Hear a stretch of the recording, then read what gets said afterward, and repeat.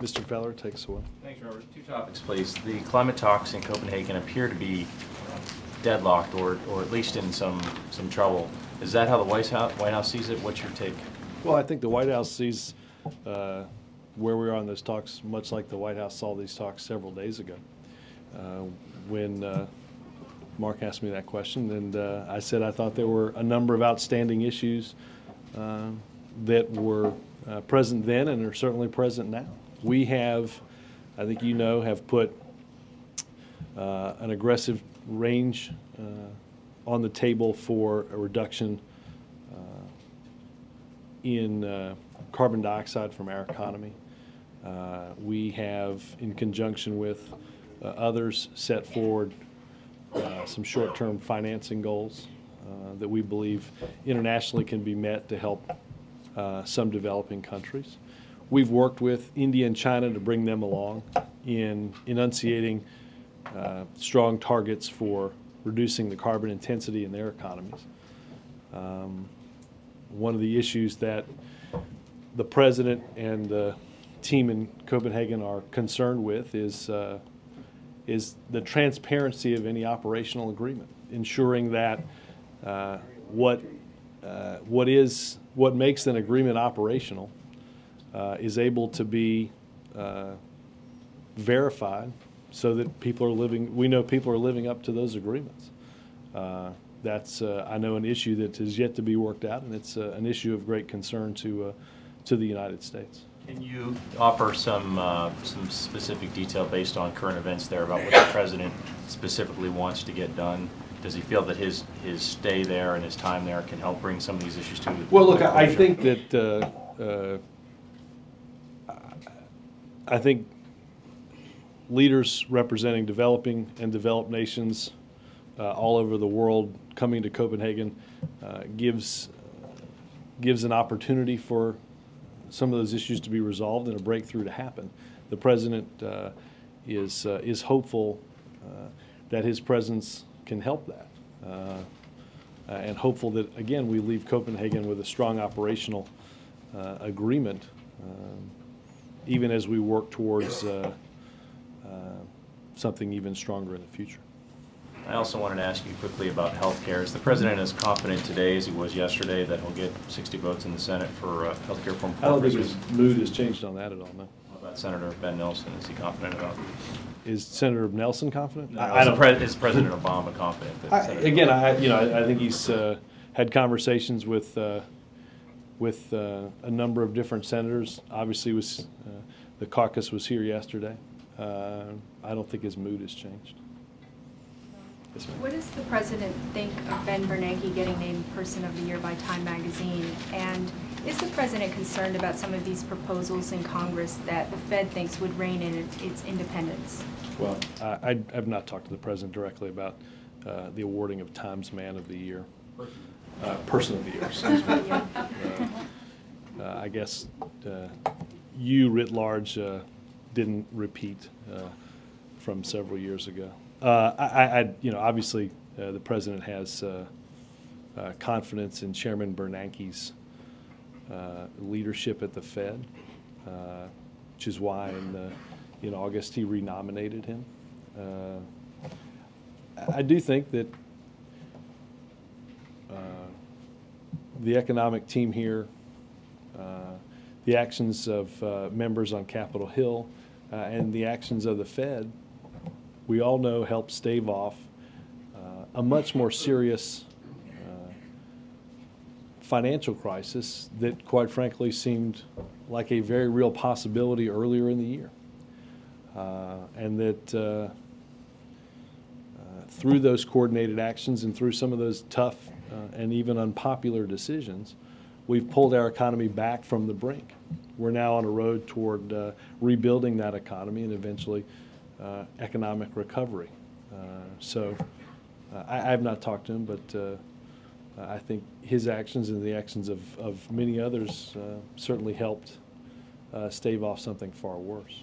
Does the administration plan to speak out on some of these proposals, um, such as the ones that would? I'd have to take a look at the Require individual. audits. Uh, I, I, I, I don't have anything on, uh, on some of the individual bills. I think our focus obviously is on getting a very strong financial reform package now through the Senate, uh, working with Chris Dodd uh, and Richard Shelby in order to make that happen, uh, to set those new rules of the road and ensure that what happened uh, and caused this great crisis doesn't happen again. Um, Just wondering what your response is, kind of a back and forth going on between the former head of the Democratic Party, Dr. Howard Dean, and, and the White House on healthcare reform. Um, This morning, he said that while there are many good things in the bill, there comes a point uh, when there are enough bad things that he, he would, that would lead him to, uh, to oppose it. And he said, the lack of the public option, a mandate covering, uh, requiring people to get coverage, a fine in which 27% of the fine goes to insurance companies, uh, means that this is, quote, an insurance company's dream. Uh, And I was just wondering um, what your response was. If this is an insurance company's dream, I think the insurance companies have yet to get the memo. Uh, Insurance companies have spent hundreds of millions of dollars lobbying against this legislation. They've spent hundreds of millions of dollars on television ads, uh, on networks and cable stations uh, throughout our television uh, to try to kill reform. Um, if this is such a, if this is such a good deal for them, uh, I'm not entirely sure why they're fighting it. Uh, Look, let me go through some of the things that I think Dr. Dean said on uh, Good Morning America this morning that quite simply weren't true. One, uh, nobody's to, nobody will be, nobody will be required to purchase something they can't afford. There are hardship ship exemptions and subsidies uh, based on income levels that help people afford insurance. I don't have the slightest idea where the fact of 27% uh, came from. He went on later in the interview to discuss the notion that uh, pre, the legislation contains or no longer contains anything that addresses pre-existing conditions. Uh, That's simply flat out wrong. Later in the interview, he said that uh, he didn't see any cost control in the bill when every health economist that's evaluated the bill uh, says that any idea that's out there to contain costs is actually contained in the bill. So, I- you know, I, I don't know what piece of legislation he's reading. Let me tell you what is good in the bill, that is true, that Dr. Dean forgot to tell people about this morning. Uh, We will cut costs.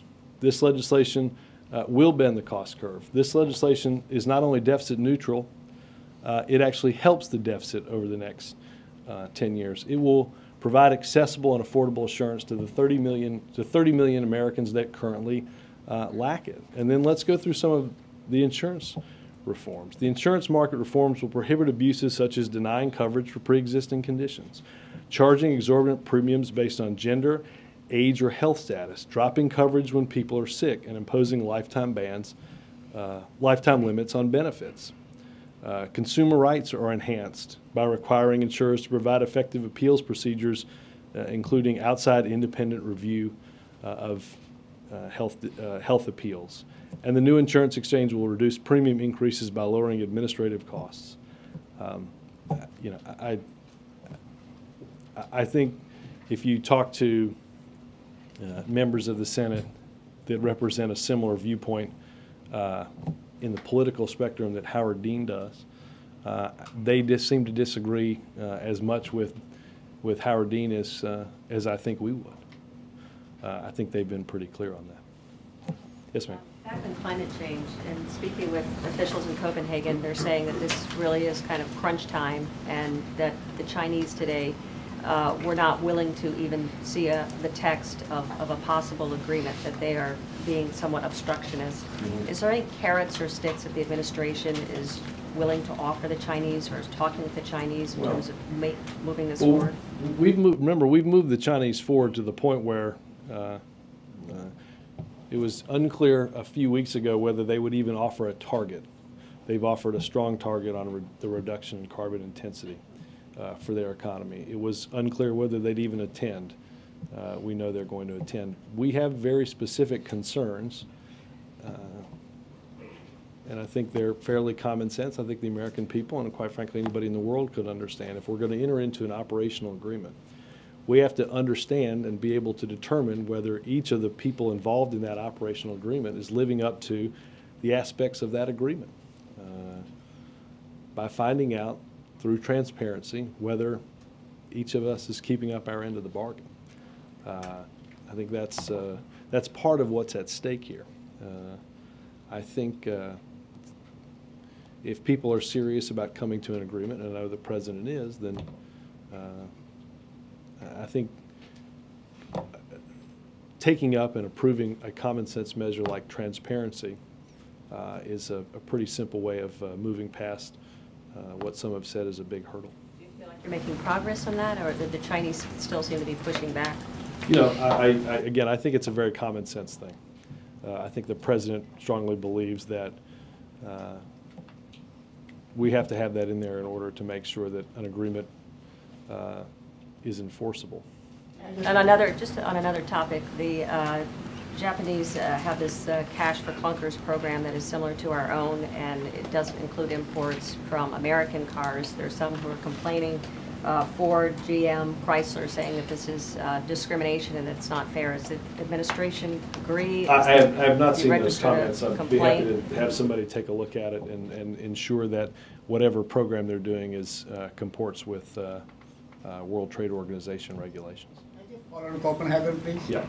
Uh, Robert, uh, the eyes of the globe will be on India and China in Copenhagen, and since President is going there and the Prime Minister of India will be also there among other leaders.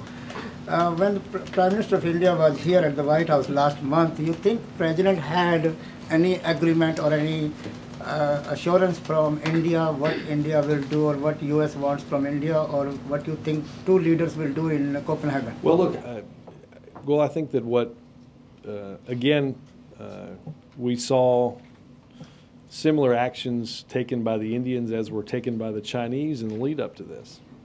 Uh, A target, uh, again, that was unclear whether they would enunciate prior to going to Copenhagen to, re- for a reduction in the carbon intensity of their economy. Uh, A specific um, commitment to attend the conference and to try to seek a solution for those issues. Uh, I think, uh, I, I think it's important that uh, think the president and his team believe that without diplomacy and leadership in this, uh, we might not be at this point. The president has worked hard to get an agreement, uh, and uh, certainly hopes that we leave Copenhagen having made that progress. But, uh, Was there any commitment during the, the meeting here at the White House from Uh, India? Well, I, I- other than to work, try to work constructively uh, toward an agreement, uh, th- nothing was locked in there, no. May I follow up on carbon intensity for? Sure. Um, The Bush administration was widely criticized for trying to meet its goals um, using intensity versus um, just overall greenhouse gas emissions. Um, And I just wondered why um, you are putting this in terms of greenhouse gas intensity? Because basically. Well, that's the way their, their, that's the way their commitments came. I, I, Paul, and I I have not, uh, uh, I have not seen what the criticism was for, uh, for the Bush administration using the term carbon intensity, so. I- Sorry, but I'd have basically it means that, it, it could mean that you're actually meeting the intensity goal, but you're not meeting, it, it could mean you're not actually meeting the overall goal. If it's not measured, it's measured another way. Well, I, I- I think what, what the administration wants to have happen, uh, to reiterate my point, is uh, if you set a goal, but you can't look transparently into figuring out whether somebody is meeting that goal, uh, then you have an unenforceable, non-verifiable, quote-unquote agreement. The president believes that if we're going to make progress, uh, i- i- we have to do more than just put a series of goals on a piece of paper. We have to also have a mechanism in that paper to ensure that transparency uh, allows us to verify what each nation is doing. Uh, It's, I think, a fairly common sense uh, principle that we believe uh, should be factored into, uh, to any uh, approved agreement. Yes, ma'am. Hold on a second. Why did the president go in the towel on public option and Medicare? Is one question. Next is, you see any connection on the suicide bombings in Central Asia? Does our president mean anything about, I mean, have a connection? Uh, In Central Asia, uh, which bombings? Several countries, the suicide bombings. Uh, I'd check with NSC if we have anything on that. In terms of the first one, Helen, uh, I I think that uh, uh, we have seen, you know, we've, we've, we're, we're trying to get a piece of legislation through the Senate. The Republicans are filibustering, and any solution is going to require uh, 60 votes to go forward. Do I wish there were more uh, on the Republican side, except a few, uh, working with the administration to try to figure out how to solve one of the most complex uh, Why can't he get his own party? uh, because there's a difference of opinion even in his own party about how to move forward. There's uh, differences in political perspective, there's differences in who people represent. Uh, The president is not often provided choices of, uh, uh, that don't include having to get something through Congress. He could have let a filibuster go through. I'm sorry? Get- Let them filibuster. Uh, Well, if we did that, Helen, we wouldn't have health care. If you can't get 60 votes to move forward on the bill, uh, then the bill goes away. Uh, But don't quote me, don't quote the president, quote many on Capitol Hill that believe, as I just told Jake, there is far more in this bill uh, to like and to love than there is to oppose this bill. The notion that we would go, the notion that the best step forward for health care is to kill the process we're on, uh, would simply do damage to what many people, including Dr. Dean, have worked uh, many, many years for. Pre-existing illness, is that the only thing that, No, no, pre- but pre-existing, changing pre-existing conditions and the way insurance companies deal with that is in this legislation, as is a path to get 30 million currently uncovered Americans covered by health insurance reform, uh, lowering premiums for families and businesses, cutting costs for the government in terms of Medicare and Medicaid, dealing with the deficit by making that fiscal picture better. All of those things are what the president laid out in front of the Senate quite frankly, that's all. Those are many of the things that uh, that people have campaigned on for a long time. I said this yesterday. See if this sounds familiar.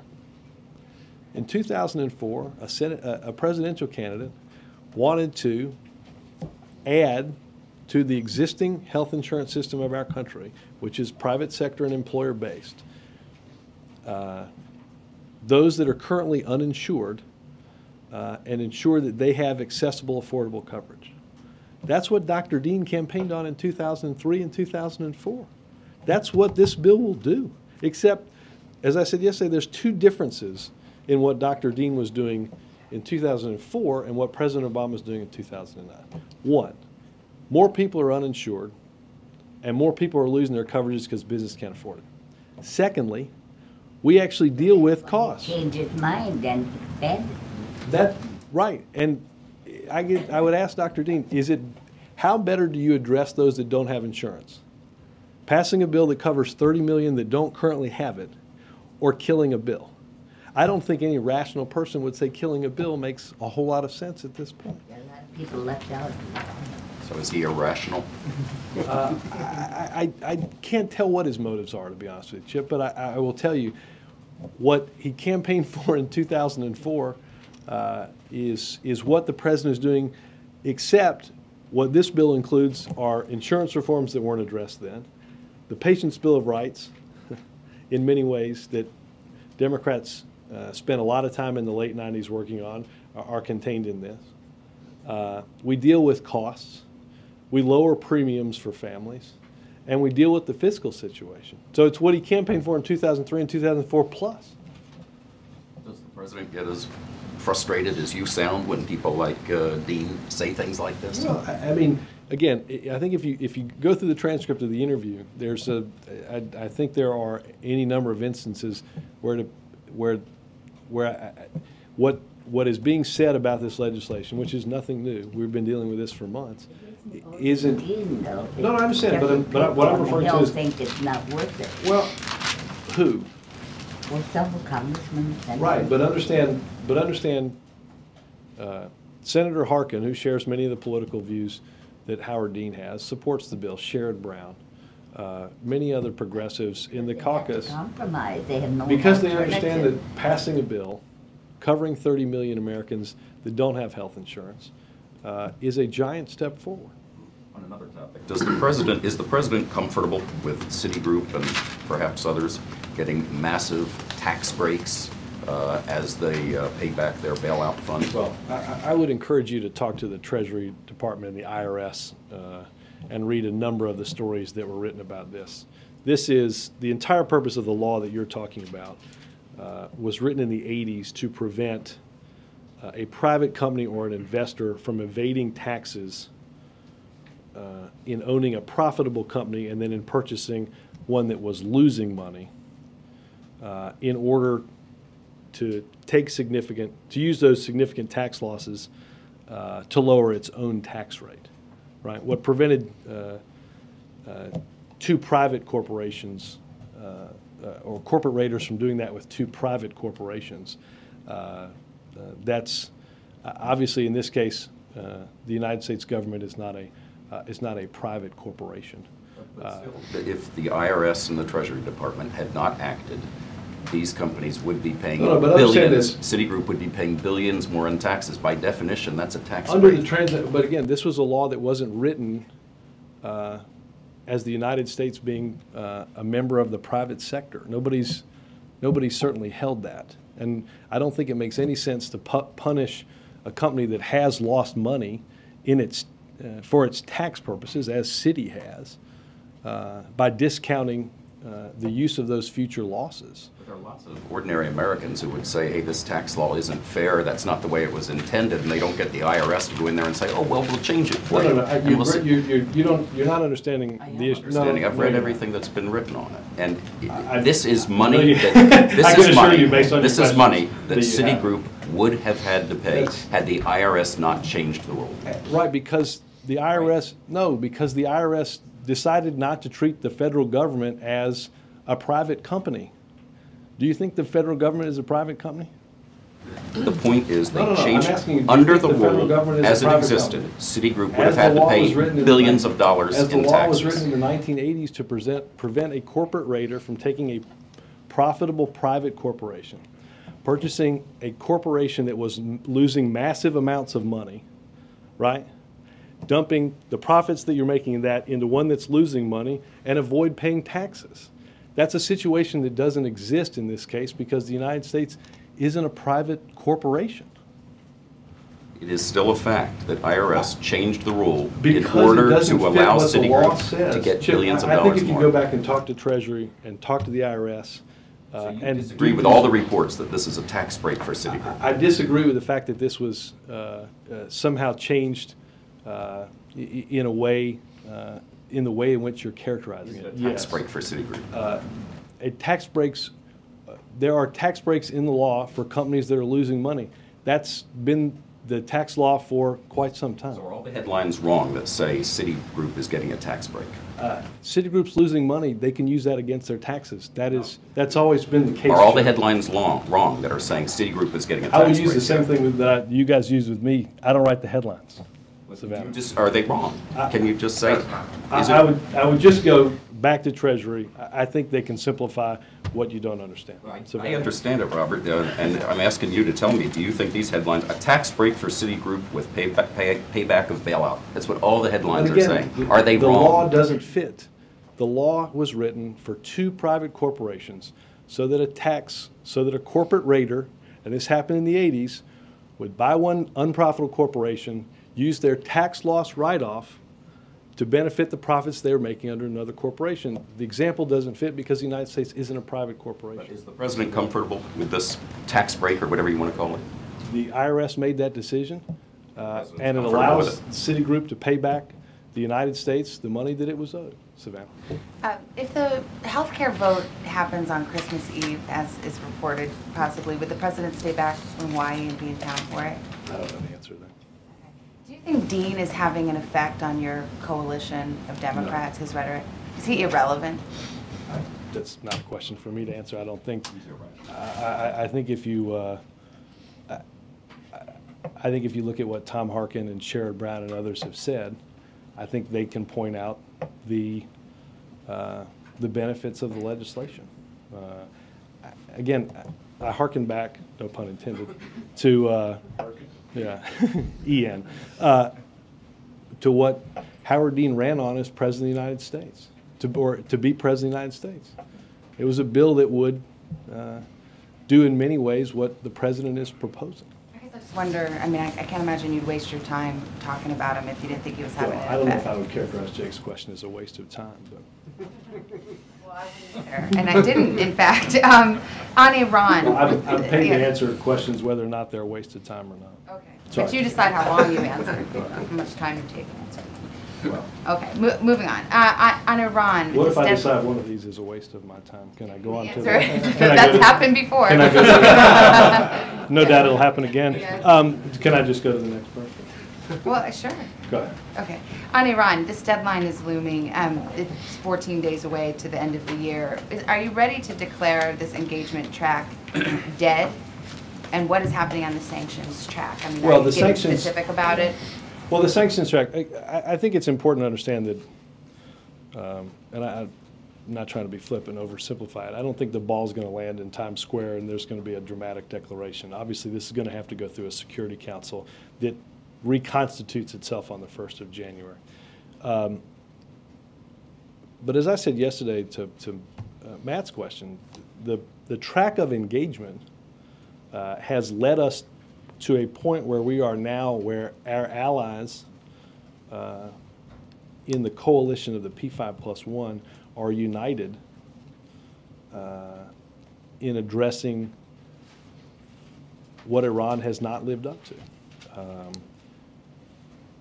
we have uh, Russia prepared uh, to take steps. You have seen uh, the vote of the IAEA Board of Governors in condemning the actions of the Iranians. I think there's no doubt that, given this environment, um, uh, missile tests do nothing but undermine Iranian claims.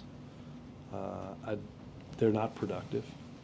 Um, The Iranians still have the opportunity to live up to their responsibilities. If they don't, then time will run out, uh, and we will move to the next step. Robert, can we follow on Iran? These missile tests, do you feel they're uh, an expression of internal infighting among the government of Iran? And I can't speak to why the Iranians test missiles. Letter President Obama gave to the North Koreans, did that have to do with the Iranian nuclear test or with parts from North Korea to Iran? No, the, uh, the, the president, uh, uh, without getting into the details of diplomatic correspondence, uh, the president's letter uh, to the North Koreans coincided with and was delivered by uh, Mr. Bosworth, who was there to get the North Koreans who are isolated in a way that the Iranians will soon be from the international community based on their provocative actions, uh, to convince them to do what is in their interest, and that's come back to the table and ultimately live up to the agreements they signed uh, to give up uh, and to denuclearize the Korean Peninsula. Uh, I think it's an example that uh, is in many ways analogous to the Iranian one. Jonathan? Can you tell us what is in the bill in the Senate right now, the healthcare bill in the Senate, that adds the choice and competition that the president is looking for? Uh, I'd say two things. One is the exchange, and, and two, uh, uh, the, uh, the provisions uh, for OPM to set up uh, a process similar to uh, what they've done with the federal uh, employees' health benefits package. I mean, last week you said that the, the OPM provision and the Medicare buy-in were two pieces of the same puzzle. Now one of those pieces is gone. Does the president still believe that there is enough choice and competition? Yes, and again, I, I, I, what I would have neglected to have given last week is the fact that you've got now 30 million Americans that will join a, a, a health insurance exchange and use the purchasing power of uh, 30 million rather than a small business, say, of 10, uh, uh, to be able to seek the best deal possible for uh, uh, for quality uh, for quality coverage, for lower administrative costs, and for cheaper healthcare policies. Real quickly on Copenhagen, when we were in Chi- in China, in Beijing, the joint statement from President, President Obama and President Hu had a section on transparency. In fact, you were touting that as a big breakthrough. So what happened between Beijing and now that transparency is, is back on the table? I'd, I'd ask President Hu. Yes, sir. Robert, can I try again on Chip's line of questioning? If a bank gets in trouble through its own bad judgment and recklessness and is then bailed out through the generosity of the American people, does it deserve special tax breaks? It's not getting special tax breaks. What are they? Uh, There, Routine? first of all, I, I, if a company loses money, being able to write off that in the future uh, is part of our tax law. Uh, The treatment of this provision is different, as I said before, because the law was written in the 80s to prevent two private sector corporations and companies from being used for tax evading purposes. Okay? The United States government is not a private sector company. So clear, why did they have to change the rules? Because uh, we, I, I don't think the rules in 1980 and the laws in 1980 envisioned uh, some of the extraordinary assistance that the United States government would be handing out in 2008. Is Chip going to get audited? I like his wife too much. just for just for anybody who's blogging, nobody gets audited based on the questions that they ask you. Just so Mark and I, so I don't get in trouble. I'm sure there's that, gosh people just pulled down their blog posts on. Uh, no, I'm kidding. Do you have Um, you know, what does the president think of Senator McCain and Senator Cantwell's proposal to reinstate the Glass-Steagall Act to, you know, make sure there are no future bailouts? So Sure. I, I, I have not talked to him specifically. I don't, uh, I have not, uh, uh, seen what uh, specifically of that they've proposed.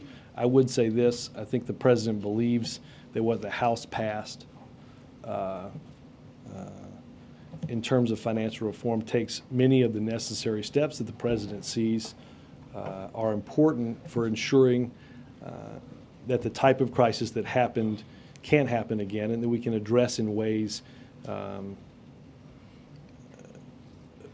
potential uh, potential catastrophes to our economy in a way that won't harm others, meaning through resolution authority that would allow us to uh, deal with the problem, uh, break things apart and deal with a problem without it uh, infecting larger parts of the economy. And I think that's something the president hopes will, will pass the Senate and come to his desk soon. Should this have been included in the House? I- I'd, I'd have to look through it and get a sense of, when- The missile the Iranians tested today is it, one of those designed to be dealt with by the changed missile defense uh, the president announced in September. Anything new that you see there? Was the test at all provocative? Well, I, I, I, I, think the test, given the actions that, uh, uh, and the, the, given their actions recently on their nuclear program, uh, is quite counterproductive to their proving that uh, uh, their, their nuclear program is for peaceful means. Why, given that uh, what I'm told uh, is that the missile tested today could not carry a nuclear warhead? They don't have one anyway. Well, I, I, I, again, I, I think the provocative nature of just testing, y- y- before you can light up an ICBM, you're going to have to go through uh, some technological uh, uh, gyrations to get you to that point. Uh, I don't think, uh, uh, th- there- there's, it's clear that this is not for satellite capabilities. Uh, And will then the test have an impact on the sanctions push? And what is the status of that right now? Well, I, I did- as I said to Savannah, it- we, we, we continue to work with, uh, uh, with those in the P5 plus one to move that forward uh, and to develop uh, sanctions uh, that could be used uh, next year. Um, uh, What was the first part of your, the? uh, Whether the test will impact that? It doesn't. I- Look, again, I think it is, I, I, I think when you're trying to, when you're trying to prove to the world uh, that you're taking steps that are, uh, uh, that you're trying to prove that your nuclear program uh, is, is indeed for peaceful power means and not for other provocative means, uh, I don't think it makes any sense to do what they did today. To go back to your first, first question, the, uh, as we have talked about missile defense in the past, uh, what we needed was a system that uh, uh, addressed uh, the idea of uh, multiple smaller missiles, uh, the type of technology which you see tested most frequently, uh, a system that is more able and uh, more quickly deployable to address that. Uh, That was one of the reasons that General Cartwright, the Joint Chiefs, and the Secretary of Defense recommended uh, we make the changes that were previously announced in our missile defense. So what was tested today was envisioned, Well, the type of which, uh, uh, the type of which, the, the type of threat in which uh, we are seeking to address uh, more readily through a more rapidly deployable missile defense system. So- The dirty bombs, they're not benign. Oh, I, I'm, I'm certainly not going to say that, I- I- of course. I mean, there's, you know, you're not, uh, they're not for satellites and they're not for fireworks. you know. Uh, Speaker Pelosi said today that, uh, that she would not be asking members of her caucus to support the president's uh, war plan, that the president would be on his own Mhm. uh, in selling that. Could you comment on that? How does this affect the White House strategy going forward with Congress? Well, look, uh, uh, we will, uh, as the president started at West Point, uh, and certainly continues in interviews and questions that he's asked, lay out why he believes the strategy he set forward uh, is the best way possible in Afghanistan. I think what he would say to, what he would say in response to a question like that is, uh, the, we have a plan that uh, uh, rapidly increases our, uh, the number of our forces there. In order to more quickly train an Afghan national security force to deal with the momentum of the Taliban and address both of those instances so that in July 2011 we can begin transferring authority and control for security to the Afghans and begin to bring uh, our soldiers home. The president looked at obviously a number of options um, that he believed did not adequately uh, change the calculus uh, of what was currently going on in Afghanistan. Uh, and that the best way forward was to do this. And I think the president uh, may not get the agreement of every member of Congress or every Democratic member of Congress, uh, but will certainly make the case for why he believes uh, this is the best path forward. Is her position surprising to the White House? Uh, I- I'd have to look back at some of her previous statements in terms of, uh, uh, I I think she's made statements in the past, and I I hate to say this without having some of that stuff in front of me, uh, in opposition to adding more forces, uh, as I, as quite frankly, a number of uh, members of Congress have made. Yeah. Um, House uh, progressives are concerned about the Senate uh, compromise, uh, to say the least. Is the president open to eventually adding back some more of a public insurance alternative to the bill, or does he think that Well, would? would? Steve, I don't want to get ahead of, uh, I I don't want to get into the conference, uh, a conference procedure. I- I- I- The president is working hard to get legislation out of the Senate uh, so that we can get to that point. Well, does he have any response to them? I mean, they're concerned right now. I mean, Well, They're I- making objections now. Yeah, I, I think our response is what I gave earlier, which is, uh, as many in the Senate have said that represent very divergent political viewpoints within the Democratic caucus, that they're, uh, this represents a huge step forward uh, for meaningful health care reform. Copenhagen, really briefly, uh, Robert, you, we know about the phone call to Sarkozy and the others yesterday morning. Is the president still continuing to work the phones? Will he do Yeah, I think tomorrow? the, I I don't have the schedule in front of me. I think there uh, may be more calls uh, today to uh, countries uh, as part of the, the developing nations in the G77, um, as there were, uh, I think it was Monday, uh, with uh, Ethiopia and Bangladesh, uh, and we'll have a readout uh, after that call's done. Um, Obviously, our negotiators there continue to work with uh, nations in Europe, uh, the larger developing nations, uh, and the G77 to try to come to some agreement. It has been suggested already that maybe uh, the conference should be extended. Is the president open to that? Uh, I think the president leaves uh, on the 18th to come back. Uh, uh, I think that's the, that's, that's our current uh, flight posture. Does he think, does he think the deadline will concentrate minds? Look, I think it will. I mean, I, I, I think you've, you've seen in some ways, people say that, uh, uh, God forbid, this is all that staff can do, and some of this is just gonna get hashed out when leaders of these countries get here to start hashing it out. And I, I don't, uh, uh, I think that's in many ways how some of this stuff happens. Uh, and I, I don't think that, uh, in all honesty, that'll be a lot different here. George?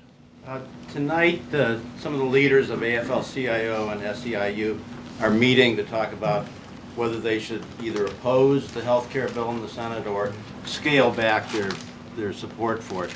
How damaging would that be if they did? And is anybody at the White House talking to them today? And Well, I'm, I'm sure people at the White House and people on Capitol Hill and people in the uh, broader political community are talking to them. Uh, George, again, I, I, I think that, I, think there's been a lot of focus in the last 12 to 24 hours by certain individuals and others about what they don't like in the bill. Uh, I think if one steps back and looks at what is in the bill, and what there is to greatly like in the bill because it represents a great step forward in healthcare reform. I think they'll find many of the things that I've listed and many of the principles met that the president outlined in front of Congress. Uh, again, I don't think it makes any sense to think that we're going to move forward on healthcare by not supporting uh, moving this process forward. Christie? Can you address, um, just related but broadly, uh, growing concern on the left that the president feels he can take his base for granted? Is that true? Does the president? I I don't know what, uh, based on what? Well, there's um, a lot of activity on the uh, on the left-leaning blogs, on TV. There's a posting. Did you posting. read that at the Washington Times? they, they let me read whatever I want. Good to know. For now. Is that a real concern that there that there are people on the left who feel the president president believes he can take their support for I- I- granted? I- uh, Again, the, the president, the president is dealing with uh, the legislative process. Matt, we- I said this earlier, I said this earlier in the week. We don't get, uh, we don't, the president isn't generally pre- prevented with uh, either-or options that are, uh, that always include everything he wants. That's part of the legislative process. Uh, We would not be, we would not be where we were. We would not be spending, uh, what, what month are we in on health care reform? Uh, uh, what- We're, I- what? 70 years. Well, but I mean, in, in, in this term, uh, we wouldn't be doing this for the eighth or ninth month in a row if it weren't for the president's leadership. Right, but not just with respect to healthcare, but as Scott was asking you about the decision of, on Afghanistan, on gay rights, on a, a number of these issues, there is, I think, a growing concern that the president feels that the, that the, the base is with him and that he doesn't have to be worried about that. I, I've never heard the president say, "Oh, don't, I don't have to worry about that because these people are going to be with me." I, I've been with the president for six years, and I've never heard him say something uh, as silly as that. I, I don't think anybody would uh, would say that. The, the president, but I want to be clear: the president's not making political decisions or not making policy decisions based on uh, a lot of uh, weighing back and forth on uh, different political ideas. Uh, I, I, the president's not making decisions about our national security based on uh, based on looking at uh, looking at this through the political lens. Kristen. The president met with the NASA administrator today to talk about the Constellation program. Are Mhm. the two in agreement now about what to do with that program going forward? Has a decision I, I have not uh, gotten a readout from the meeting, but uh, uh, we'll try to see what uh, what has come of uh, of their discussions.